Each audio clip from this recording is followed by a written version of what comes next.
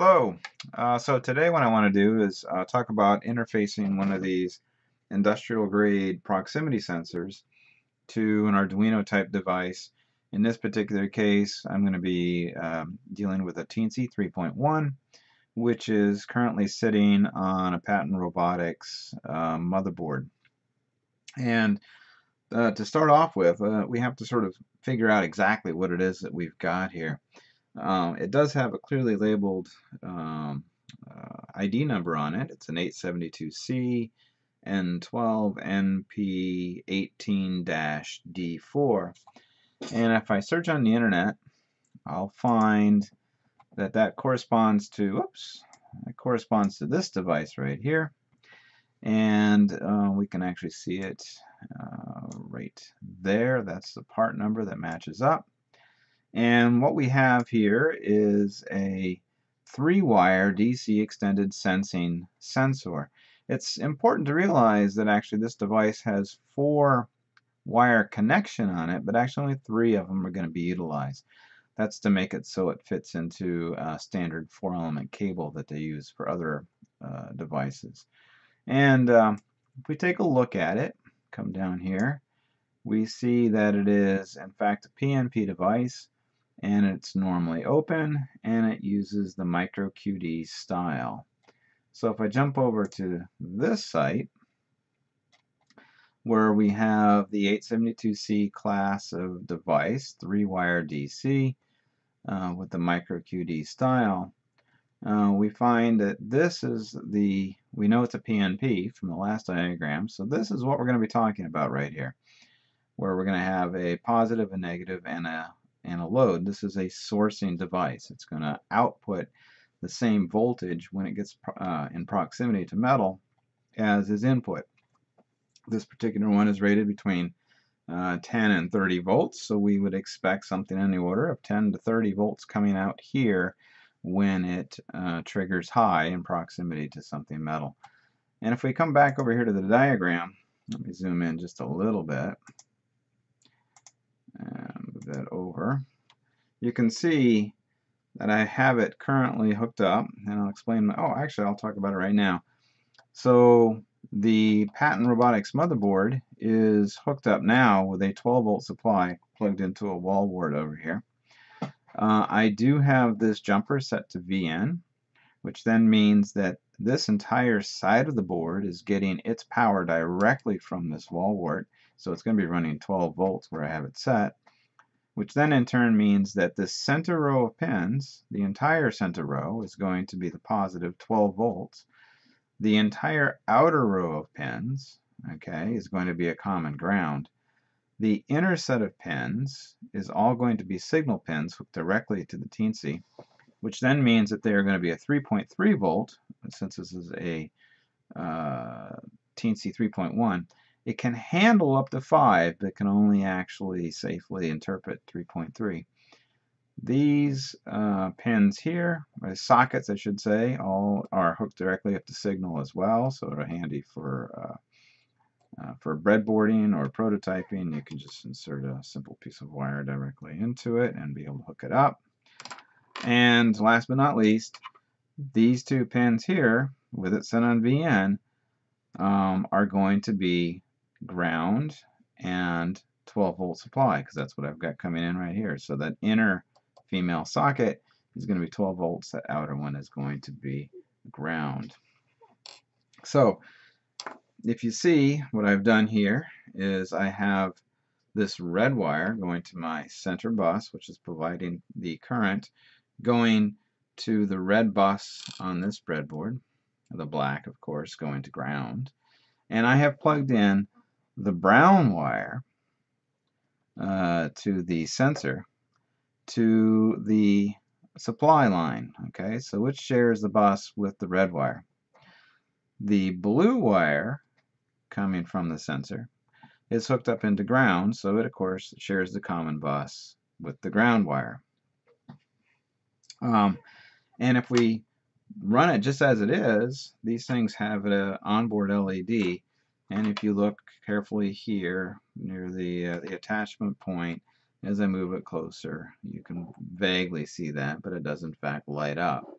All right, so we can see that it is working. Now you'll notice by coincidence this light is lighting as well, maybe, um, but I'll explain that in just a moment.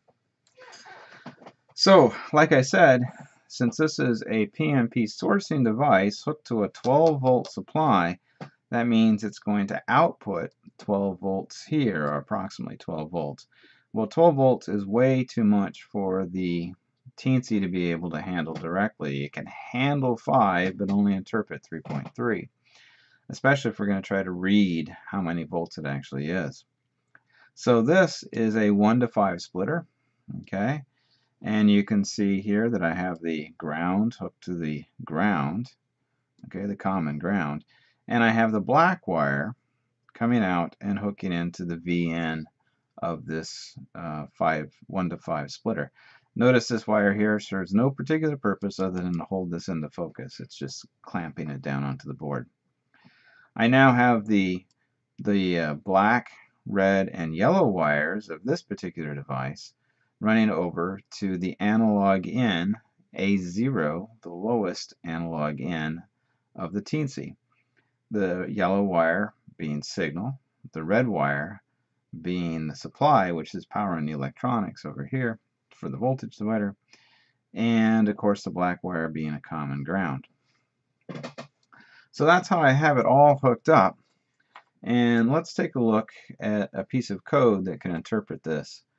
And I'm actually, it's, it's pretty straightforward, so I'm going to write this on the fly. Um, what I'm going to do is I'm going to go to examples, and I'm going to go to basics, and I'm going to go to analog read. Okay? And recall, I have mine hooked up on A0, so fortunately that's where this particular example piece of program is already hooked up. It's already set for A0. And the only thing I don't like about this example program is it uh, it only it repeats itself in one millisecond intervals, which makes it exceedingly difficult to be able to actually interpret when you have it displayed on your serial monitor. So I'm going to increase that to 500 milliseconds or a half a second. And let's load this up. And this should go relatively quickly. not as quickly as I would like. Okay, I'm going to close this one out of the background and we'll open up the serial window and you can see that it's displaying basically ones and twos. It's because the object is nowhere near it. So let me move this over so we can actually watch this. I'll make this window quite a bit smaller and move this down here and now you can see that if I move this in,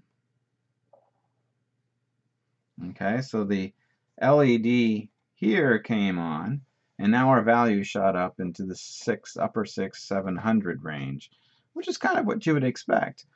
Uh, this thing divides it by 5, okay, the, so that takes 12 volts and breaks it down to about 2.4. Remember this thing is a 3.3, the Teensy is a 3.3 volt device. So if we take a 10-bit resolution of a uh, 2.4 volt input, um, that ends up being about a little over 700 or so uh, out of 1024. So it works out to be perfectly, uh, it fits everything really nicely.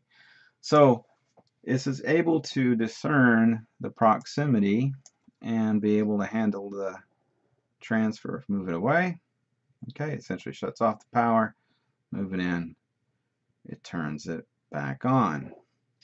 Um, I do have a couple minutes left. This uh, video can go as long as 15 before it cuts it off. So why don't I clean this code up a little bit and we'll make the light turn on. Uh, so let's take advantage of the onboard LED, which is on pin 13. So I'm going to create a, um, I'm going to create a variable, we'll just call it LED, it's equal to 13, because that's the pin it's going to be on. Now I'm going to set that pin to output. So that's a pin mode, and let's call it, well, it's LED, comma, output. So that'll mean that we can actually turn on and off the LED. And we'll go down here, and after we collect the data from the sensor value, we're going to do an if statement. If sensor value is um, greater than 500, let's, oops, I gotta put my bracket in there, sorry about that. If the sensor value is greater than 500, let's do a digital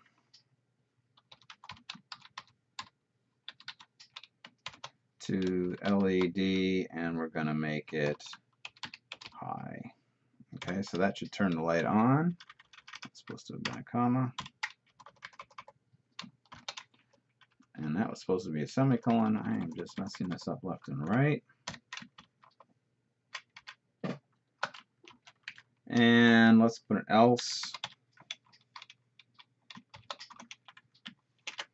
Let's make it low.